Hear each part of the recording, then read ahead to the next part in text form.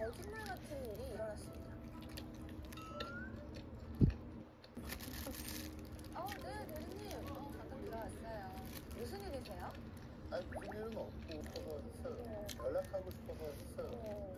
진주 씨 내일 저랑 커피 한. 맞습니다.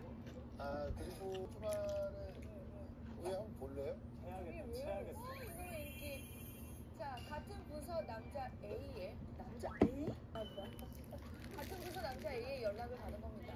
아니, 솔직히 이게- 그런데 문제는 같은 날 밤, 같은 날 밤? 나 단톡에서 진주님 이름 발견하고 반가워서 개톡해요. 뭐해? 뭐예요?